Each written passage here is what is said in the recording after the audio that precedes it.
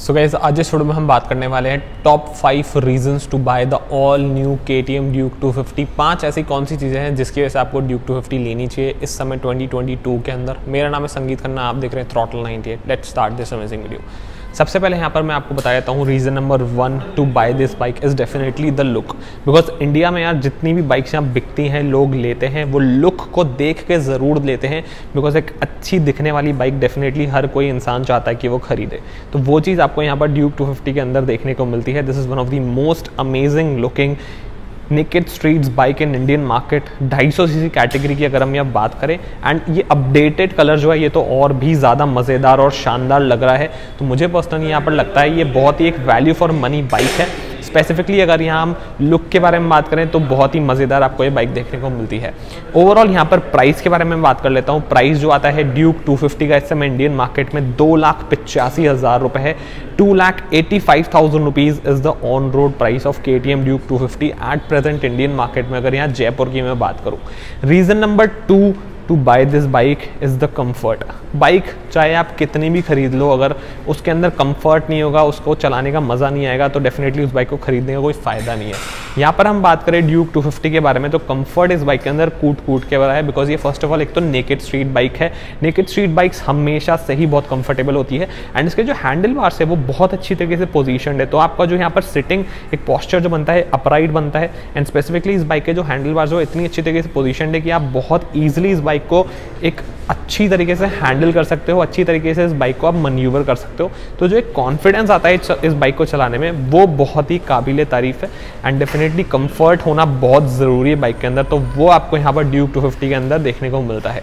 यहाँ पर हम बात कर लेते हैं reason number three to buy this bike is the engine of this bike अब ड्यूक 250 जो है, वो ड्यूक 200 और ड्यूक 390 के बीच में लाई करती है। ड्यूक 200 का जो इंजन है, वो थोड़ा एक डिसेंट पावर है। और जो ड्यूक 390 का इंजन है, वो एक बहुत ज़्यादा पावरफुल है। वहीं अगर हम बात करें एक ऐसी बाइक जो ड्यूक 390 जितना मज़ा दे एंड ड्यूक 200 जितनी अच्छी तरीके से सिटी में चला। बिकॉज़ ड्यूक 390 जब भी आप सिटी में चलाओगे तो वो बहुत पावरफुल बाइक है, हमेशा उछलने को तैयार रहती है ड्यूक 390 अगर मैं उसकी बारे में बात करूँ, इतनी ज़्यादा पावरफुल बाइक है। एंड सिटी में कभी कभार बहुत हैवी ट्रैफ़िक में उसको चलाना मुश्किल हो जाता है बिकॉज़ काफ़ी ज़्यादा एक तो पावरफुल बाइक है और डेफिनेटली बहुत ज़्यादा जब गर्मी होती है, तब थोड़ी सी वो ओवर हीट हो जाती है। ओवर हीट नहीं मतलब वो पावरफुल इंजन है तो इसलिए थोड़ा ज़्यादा गर्म हो जाता है।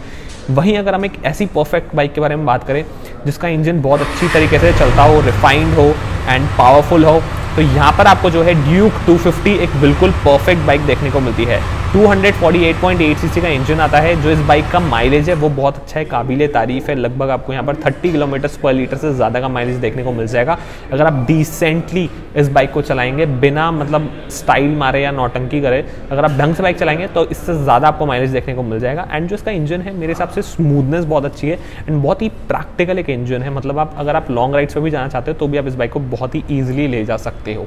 यहाँ पर हम बात कर देते हैं reason number four to buy this bike is the brakes on this bike मैं अपना पर्सनल एक्सपीरियंस अगर आपको बताऊँ तो ज, जो बाइक मुझे केटीएम की यहाँ पर ऐसी लगती है जिसके अंदर बेस्ट ब्रेक्स आते हैं वो यहाँ पर ड्यूक 250 है।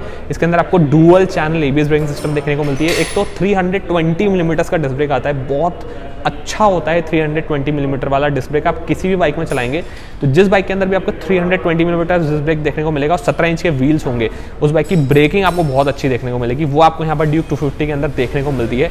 बाइबरी के कैलिपर्स आते हैं यहाँ पर dual channel ABS braking system देखने को मिलती है सुपर मोटो के साथ। मतलब जो रियर व्हील है उसका एबीएस आप ऑन और ऑफ़ कर सकते हो अपनी सुविधा के अनुसार। तो थोड़ा एक, एक एक आपको एक सुविधा मिल जाती है एक काइंड ऑफ़ एक एक्स्ट्रा फीचर देखने को मिल जाता है। अब यहाँ पर बात कर लेते हैं reason number five last but not the least is the quality of this bike bike आप चाहे कितनी भी ले लो अगर उस बाइक की क्वालिटी अच्छी नहीं है तो डेफिनेटली आप उस बाइक को ज़्यादा समय तक रख नहीं पाओगे।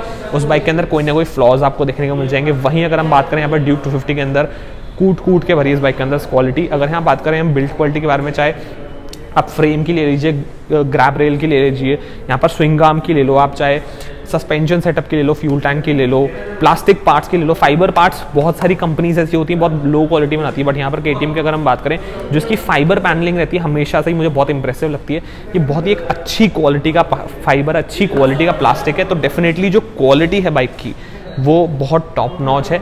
तो मेरे हिसाब से कुछ पाँच रीजंस हैं जिसकी वजह से आपको यहाँ पर ड्यूक 250 लेनी चाहिए। डेफिनेटली प्राइस जो है थोड़ा सा ज़्यादा है बट मेरे हिसाब से दो लाख पचासी हज़ार रुपये में आपको बहुत सारी चीज़ें देखने को मिलती है जो कि काफ़ी बढ़िया है। सो so, आज की वीडियो में इतना ही था। वीडियो पसंद है वीडियो को लाइक ज़रूर करें वीडियो को शेयर ज़रूर चैनल अभी सब्सक्राइब नहीं किया ज़रूर कर लीजिए। साथ में पहले के अंदर बिल्कुल मिलेगा इंस्टाग्राम में मुझे फॉलो कर सकते हैं। यहाँ लिख के आ रहा होगा throttle underscore nine eight is my so मिलते हैं आपसे वीडियो में। थैंक्स फॉर मी पार्डे see you next next video be happy in ride safe bye